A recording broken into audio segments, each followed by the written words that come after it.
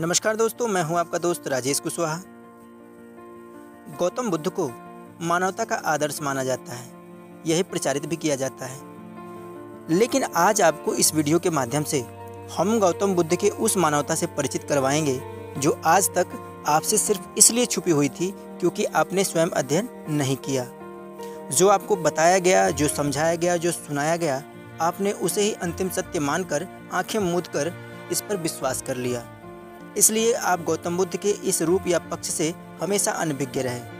दोस्तों, आज हम आपको जो बताने वाले हैं, उसे जानकर आपके पाँव तले ज़मीन खिसक जाएगी। क्योंकि मानवता के पर्याय कहे जाने वाले गौतम बुद्ध का एक स्वरूप यह भी था कि उन्हें चांडाल, निषाद, भंगी, रथ हाँकने वाली जातियों से खासी घृणा थी।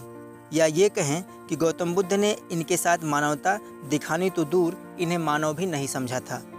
आपको बता दें कि नवबौद्ध हमेशा ये दावा करते हैं कि हिंदू ग्रंथों में मनुष्यों को वर्ण के अनुसार उच्च और नीच वर्ण में वर्गीकृत किया गया है। उनके साथ भेदभाव किया गया है। जबकि बुद्ध सभी मनुष्यों को समान मानते थे, उनमें कुल और जाति के अनुसार ऊंच नीच नहीं मानते थे। तो दोस्तों, आज की इस वीडियो में नवबौद्धों का ये जो दावा है, जो उन्होंने रेत पर महल बना रखा है, उनका ये जो महल है, आज तर्क और तथ्य की और सत्य की आधि में ध्वस्त होने वाला है, ढेर होने वाला बौद्धों का एक ग्रंथ है, संयुक्त निकाय पाली, जिसमें कौशल संयुक्त नाम का तृतीय वर्ग में इक्कीसवां अध्याय, पुंगल सूत्र। उसमें बुद्ध ने चार पुंगल बता रखे हैं, जिसमें प्रथम है, तमोतम परायणों, अर्थात नीच से नीच गति।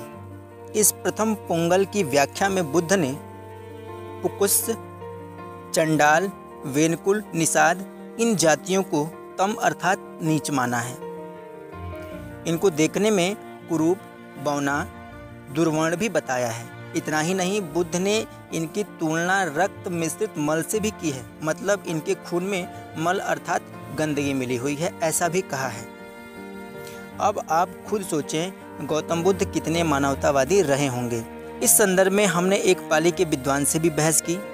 जो कि फेसबुक पर अपने आप को बहुत ही बड़ा बौद्ध और विद्वान बताने का दम्भ भर रहे थे। देखिए उन्होंने क्या व्याख्या दी है।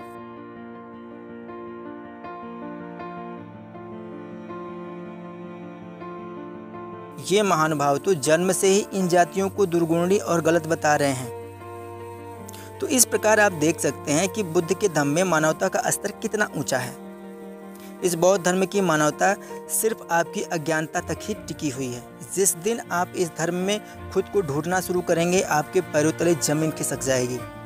इसलिए मेरा आपसे निवेदन है, आँख बंद करके भरोसा करने से अच्छा है जानकर भरोसा करें। इसी के साथ आप सबसे इजाज़त चाहूँगा। मैं फिर मिलूँगा आपसे इसी तरह की अगले किसी नेक्स्ट वीडियो में। अगर ये वीडियो आपको पसंद आई हो तो वीडियो को ज़्यादा से ज़्यादा शेयर करिए चैनल को लाइक करिए सब्सक्राइब करिए। और हमें दीजिए इजाज़त। जय हिंद जय भारत।